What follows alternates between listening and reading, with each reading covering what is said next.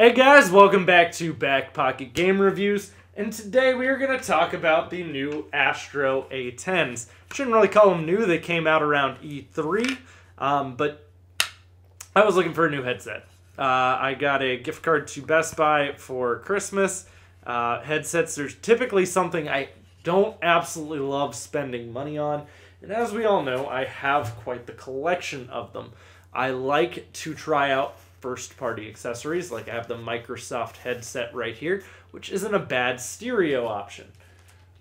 It's also pretty cheap.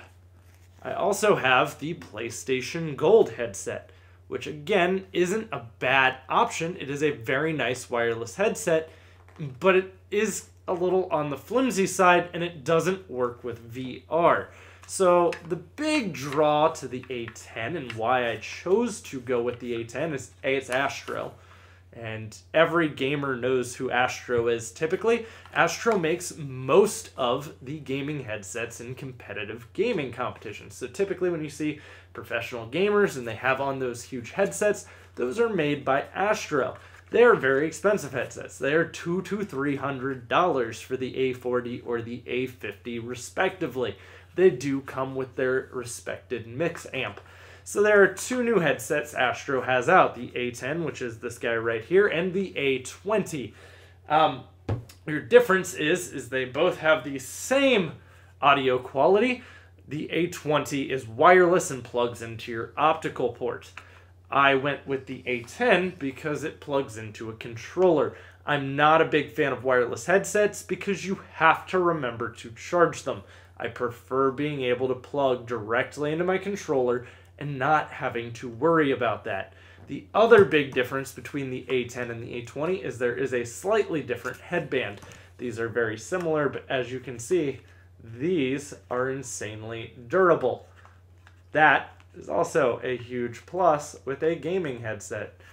Durability is something you cannot underestimate because who here's broken a headset? I'd be willing to bet all of you probably have your hands up. Um, they have a really nice fabric ear cup as well. Like it's really soft and it doesn't really get too hot. Probably takes a couple hours before my ears start to get a little warm from these. And the mic quality is also superb. Those of you who watched my more recent Twitch stream know what the mic quality of this sounds like. You will be hearing these headphones a lot more on my streams. Now, this is not a stereo headphone option we're gonna we're gonna kind of go over why I picked this, and other than the fact that they're Astros, which alone would have kind of sold them, and the features that it has that made this worth sixty dollars to me. This is a sixty dollar headset. I do have the mix amp coming. They make a mix amp for the Xbox controller, which will make the controller actually output at a higher rate on the headphones. Um, that is coming. It is back ordered. I will tell you and review that once it actually arrives. Um, but the big thing here is, is this works on the Xbox, the PlayStation, and with PSVR and on PC. So literally this works with everything. PSVR was a huge part of it. The A20s, the step above, the wireless ones, do not work with virtual reality, which that I mean, I really don't enjoy using the earbuds for PSVR. It's nice that it came with those, but this is going to be a lot more immersive than what those earbuds are when dealing with virtual reality. Now, also on the Xbox, these are technically surround sound. But Nick, you just said they're not surround sound headphones. I know I did, but I have the Xbox One preview program, and I don't know if this is widely available to all Xbox One owners yet. But I can either use Dolby Atmos, which is $15 a month, and will digitally turn these into surround sound headphones, essentially controlling the audio digitally through the console itself and outputting them in a surround sound format to the headphones. But I use the free Xbox version, which is called Windows Sonic and is available to Xbox or Windows 10 and Xbox One Preview program members currently. Again, I don't know if it's available massively yet to everyone on Xbox. you can check it's under audio settings under the full settings, not under your chat mixer, but under your full audio settings. So, what makes Windows Sonic and Dolby Atmos make this worth being better than a surround sound headset? It can actually deal with height audio. So if something is coming from above me, the audio is placed above me. Actual surround sound headsets have some issues dealing with height, so below and above. Whereas normally it's, you know, 360 degrees as opposed to that up and down. So that is also a lovely, lovely feature to have. Another cool thing about these is I like the mic. The mic is very bendable, but without having one of those puffy wind covers over the boom. I hate that because I always lose the wind cover because Leah touches it, and then it's just gone. It's out of my life forever, and you are going to get some feedback when I talk. This just folds right down, and this is also how you mute it. Muted. Unmuted. Muted unmuted. By the way, this also works with Android. I can use this with everything.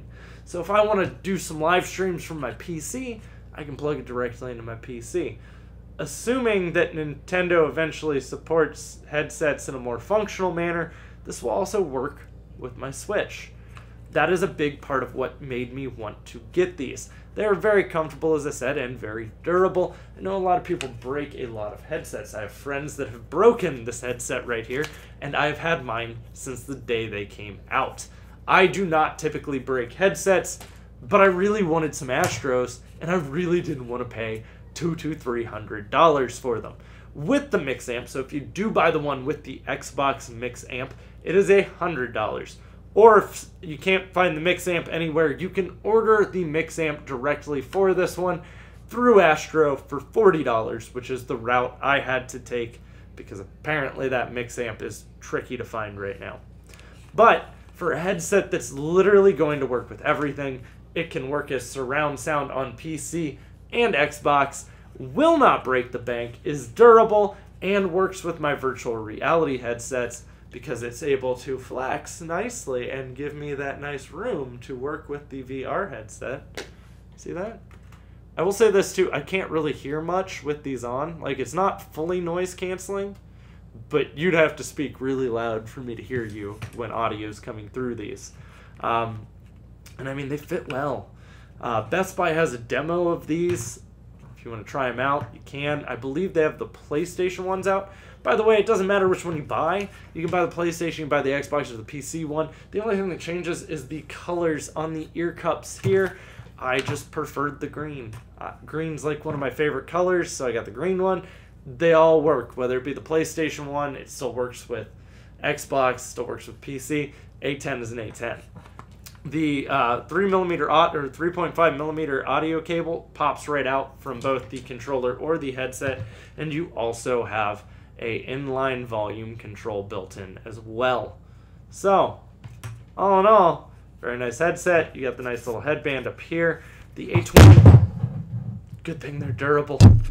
The A20 has a longer cushion for the headband that wraps around a little more, but again, the A20 also doesn't work with VR. And if you wanted to use them for all of the platforms, it's plugging into an optical port. It is going to be a little more difficult to switch over from platform to platform and you're going to have to remember to charge it whereas I just plug this into the controller or plug this into the PC or plug this into the switch and it does work with the switch. I just I don't use switch voice chat. It's kind of a pain in the backside. So this would probably be my go-to headset. If you asked me right now what headset to buy and keep in mind it's really hard for me to recommend a headset that's several hundred dollars because I personally wouldn't spend that on a headset.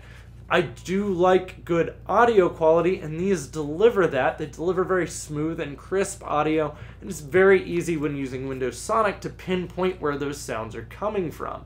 I do hear Dolby Atmos is a little better than Windows Sonic, just like a little better, um, but Windows Sonic's free. Dolby Atmos is $15 to use it.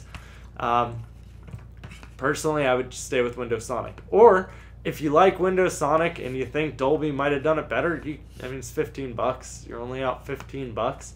Personally, I've got some financial stuff I'm going through at the moment, so I'm not willing to spend the 15 bucks. This was a gift card.